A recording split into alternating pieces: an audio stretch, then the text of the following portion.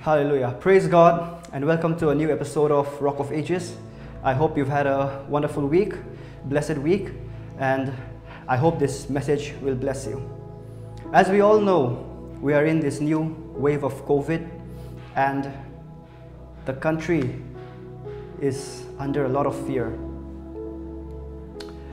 We know that COVID is highly contagious. In Mizoram, when somebody arrives at the airport, they are tested for COVID. Even when they are tested negative, they are put under quarantine for at least seven days. They are put in quarantine because they can still be a carrier. Although they may be negative, but they can be a carrier. The reason why we are so fearful of this new COVID is that because it is highly contagious. It is more contagious than the previous strain. And because it is contagious, we are fearful.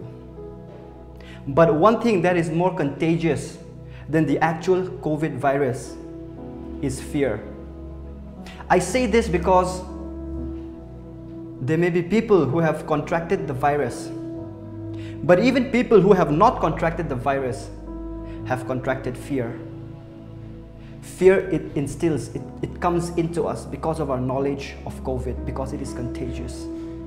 Today, I want to I want to send this message to all of you that each and every one of you is a carrier, not of COVID, but of something else. And that's something else I want to share with you today. In Thessalonica, in 1 Thessalonica chapter 1 verse 3, it says, Paul says to the Thessalonians, We give thanks to God always for all of you, remembering before our God and Father your works of faith and labor of love and steadfastness of hope in our Lord Jesus Christ. Faith, love, and hope. This is what they had. And this is what Paul gave thanks to God for. These three things. Today, I want to tell you that you are a carrier. You are a carrier of faith, love, and hope. You see, it says in verse 8 For not only has the word of the Lord sounded forth from you in Macedonia and Achaia, but your faith in God has gone forth everywhere, so that we need not say anything. The faith was so strong that when people saw that faith, they did not need to be preached the word because they saw it for themselves and they got it. First, I want to talk about faith. Hebrews 11:1. 1. Now faith is the assurance of things hoped for, the conviction of things not seen.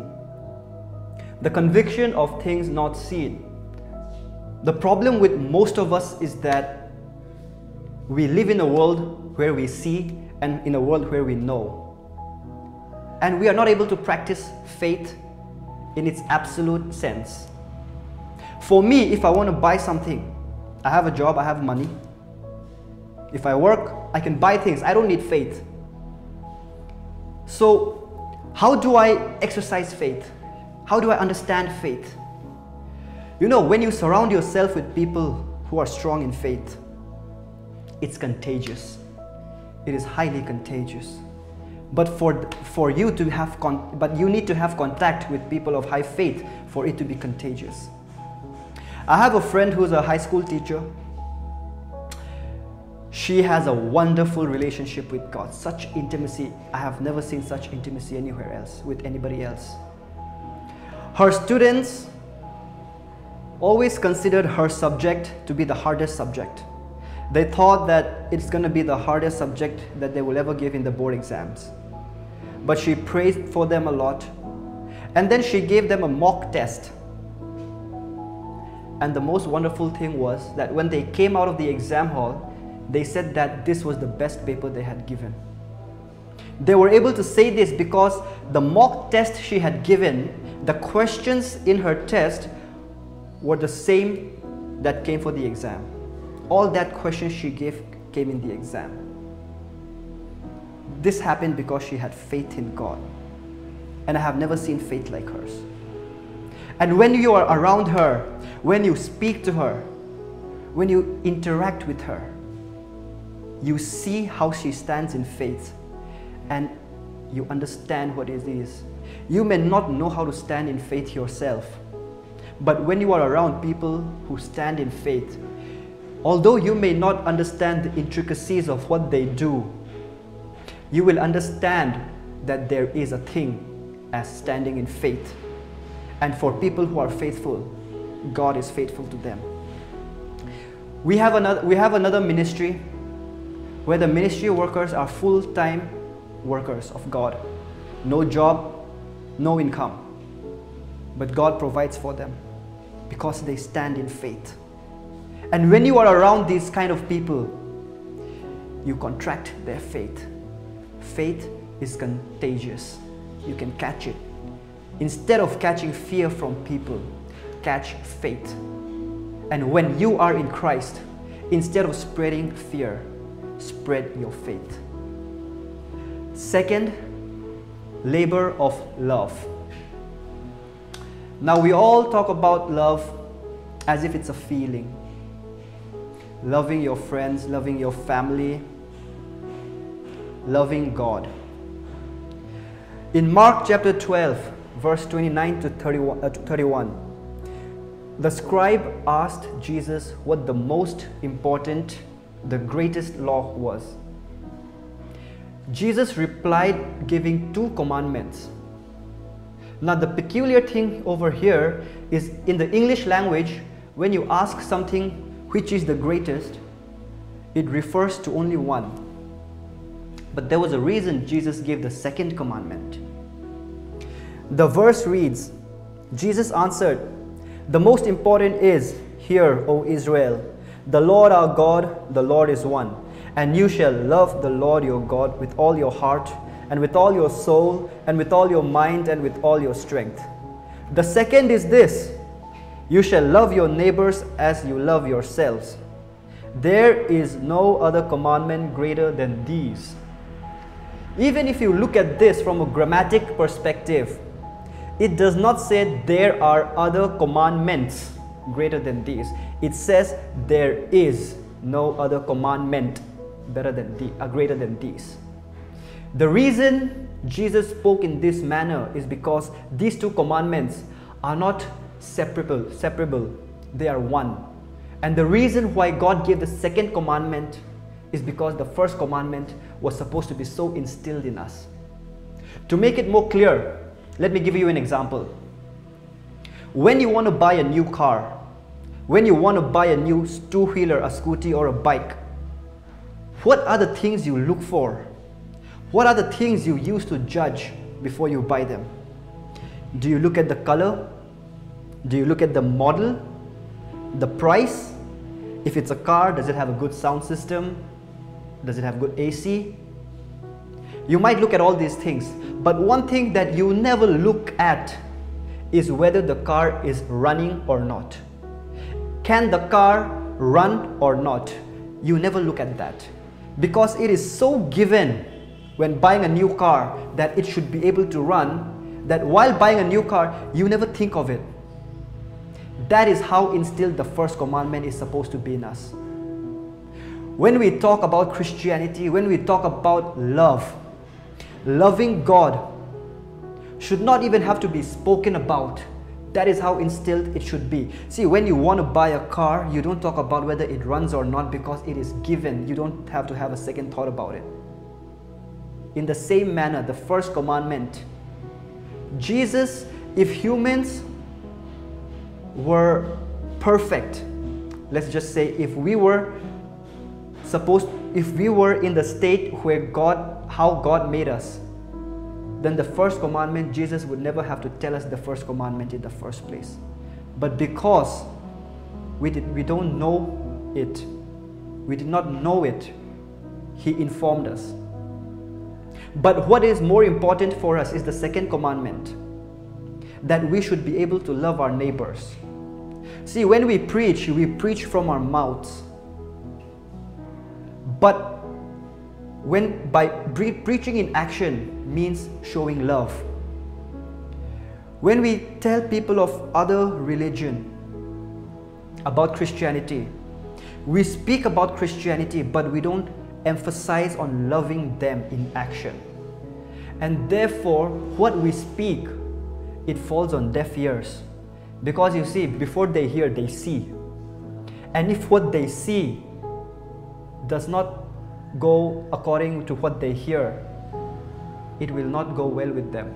And they will not understand it and they will not accept it. So before we preach the word of God, the word we tell anybody about the good news, what we have to do as Christians is to we have to practice love. And we always confuse love with this feeling. See, feelings are just based on chemical reactions, but love is based on the Word of God. Love is a nature of God. It says in 1 John 4 8, Whoever does not love does not know God, because God is love. And once we know God, once we are born again, we are born again because of the love of God. And once we are born again, we have the seed of God in us. And this seed carries with it the nature of God. And once you have the nature, you don't have to keep trying. See, nature is such a wonderful thing, you know. Human beings, we have a certain nature. Animals have a certain nature. Human beings, when we are born, we don't need to be taught continuously how to walk. When we grow, you just nurture the baby, you feed the baby. Eventually, when he grows, he will walk. But even though, even though if you feed a dog, even though if you try to teach a dog for 10 years, he will not learn how to wash your dishes. But human beings, it is in our nature that we are able to learn these things. Whatever is not in our nature, we can never learn. Therefore, the seed of God is in us, and that seed carries with it love. When we nurture this love through the Word of God, we are able to practice it. First John chapter 4 verse 12 says, No one has ever seen God. If we love one another, God abides in us and his love is perfected in us. That is how important loving others is. Being kind to others, being understanding of others, being forgiving of others, being thoughtful of others. These are all different forms of love. So before we try to preach, show in your action love. Now, the third thing, Paul says, your steadfastness of hope. You know, if my father was the president of India, and if the police came tonight to arrest me, I won't be afraid of anything. Because I know that my hope lies in my Father and that He's going to come through for me.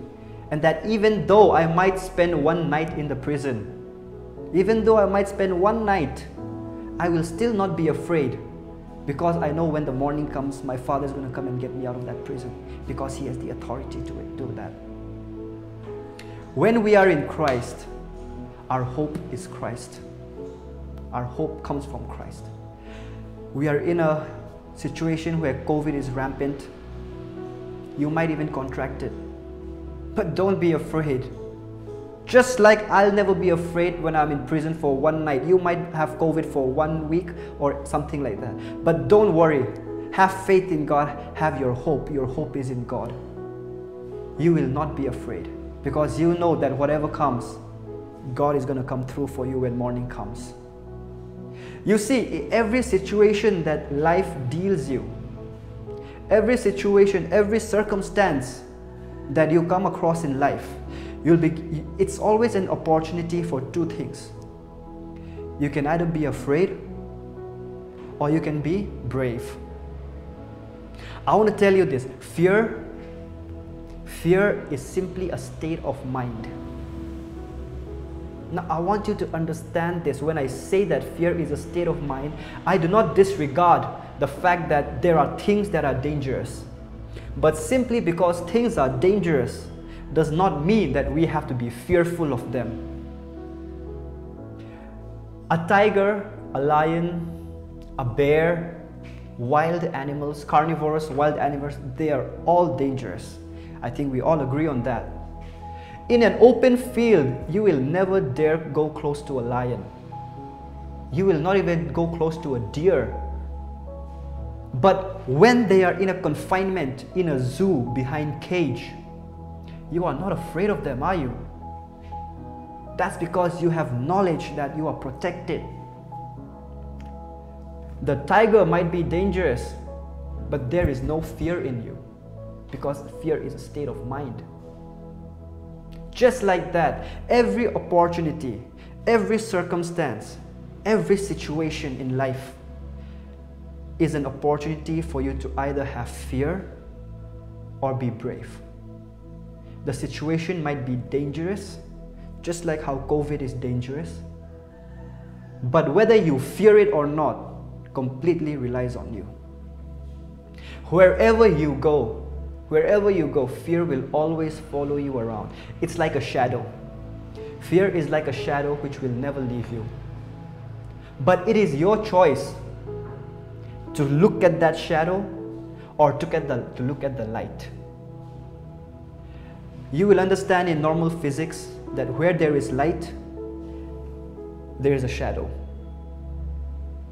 But if you choose to look at the shadow, you will see your fear. You will see your incapabilities. You will see hardship. But when you look at the light, you will see God's glory and you will find strength in Him. And the thing is, when you move closer to the light, when you move closer to it, in physics, the shadow will become bigger. The shadow will simply become bigger. When you are trying to follow God more, the devil will work harder to pull you down. The closer you get to the light, the bigger the shadow. It is your choice. Are you going to look at the shadow or are you going to look at the light and find your strength there? In 1 John chapter 1 verse 5, it says God is light. God is light. When Moses went to the mount when, mount, when Moses went to Mount Sinai and he was face to face with God, he contracted the light. He, his face started to glow with the glory of God. Us as Christians, as newborn again, we are the light of this world. It says in Matthew chapter 5 verse 14, you are the light of this world. A city set on a hill cannot be hidden, nor do people light a lamp and put it under a basket, but on a stand and it gives light to all in the house. You are the light of this world. And where the light exists, shadow cannot you will see that a bulb or a tube light will never have a shadow of its own because it cannot have a shadow. Where there is light, there can be no shadow. An object which does not emit its own light will give out shadow, but an object which has its own light will never give out shadow. Once you are the light, fear will disappear. Once you are strong in the Lord, once you have your hope in the Lord, fear will disappear. It says in Psalm 119, verse 114, You are my hiding place and my shield. I hope in your word. Our hope is in the word of God. That's where we derive hope from. And just like love and just like faith, hope is not a feeling. It is not a feeling of some happiness or some sense of security. It is not that feeling. It is knowledge. It is knowing God's word. See, happiness is a chemical reaction. When you're happy, if you have hope, you are happy. When you are crying also, you can have, you can have hope. When you are in depression also, you will have hope. And that hope is something that will make you survive it. Even in the most difficult times, when you're feeling alone, you will still have hope if you know the Word of God. What I'm trying to say is that your feelings may change, but hope is not determined by your feelings. It is from the Word of God. Faith comes from knowing God. Faith comes from knowing the Word of God. It is written in Romans chapter 10, verse 17. So faith comes from hearing, and hearing by the Word of Christ. When you read your Bible, when you understand Christ, when you understand the Word, it builds faith. And once you have faith, you won't fear the virus. You won't fear anything that comes at you in this life. When you have faith, you will have hope. Faith comes from knowing the Word of God, hope comes from knowing the Word. And when you have faith and hope, you have these two things because you know God. And love is God. Once you know God, you will have love. Mark 16, verse 15 says, Go into all the world and proclaim the gospel to the whole creation. These three are the basic foundation of the gospel. The gospel may be the message, but what the message carries with it is faith, hope, and love. So, friends, today I ask you you are a carrier. Even though you may not be a carrier of the virus, you are a carrier of many other things. And those other things include love, hope, and faith. Be contagious. Be contagious. While others are spreading fear, spread faith, love, and hope. Show in your life that you are a person in Christ. Have hope, have faith, and have love. They are highly contagious. See, the word, the problem with us is that when we talk about these three things, we, we, we think that all of this is supposed to be just for us. You know, have faith so that God will work in my life. Have love for God and have hope in God. But the thing is, what we are supposed to do is we're supposed to emit this. When God flows in us, we are supposed to flow it out. So today I request and I pray that each of you, each of you will be contagious and you will spread love, faith, and hope. Thank you for watching. I hope you have a blessed week and a blessed weekend. Thank you.